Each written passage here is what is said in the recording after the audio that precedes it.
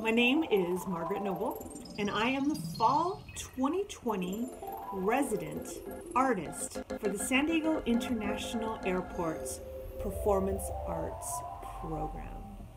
So, this project originally was to be a series of performances at the airport of sound, art, and experimental music.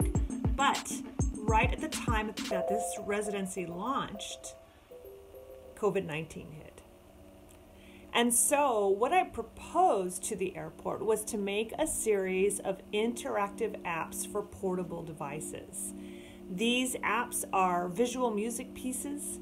They respond to touch and gesture and change in color and graphics.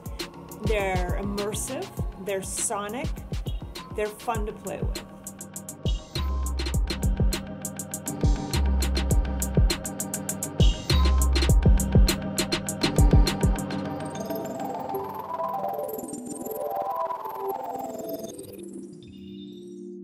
I was inspired by the airport because it is a place where you're sort of in one place and no place. On your way to somewhere new, coming from somewhere else. And so you're in a type of no man's land, um, which is really interesting and cerebral and psychological. And I thought it would be really fun to tease out what people are feeling and thinking about while waiting for a journey by playing with different senses. So, visual senses, senses of touch, haptic, uh, sonic uh, senses, and then the interplay of these senses together, and then the interplay of using this diverse media, mixing it in with your personal experiences at the airport. For me, this was an extraordinary opportunity. Whereas before I would have perhaps than performance work which I was very familiar with. In this case, I had to rise to a new challenge as an artist and figure out how to adapt in an unusual set of circumstances to make new types of work.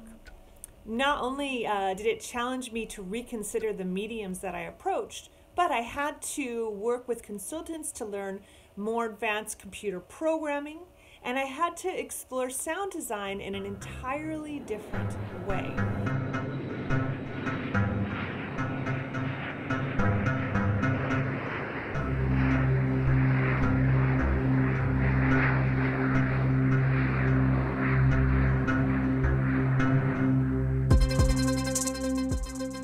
This work has been challenging for a variety of reasons, uh, not just what's happening in the world, but technically, creatively. Um, also, reaching out to audiences had its own set of challenges too. But the great news about this opportunity for me was the work would last. And for me as an artist, this residency really has substantially transformed my practice and opened new doors to me.